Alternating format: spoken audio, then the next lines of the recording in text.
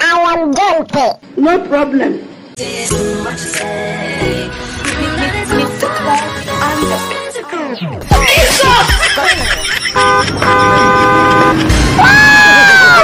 What type of plane?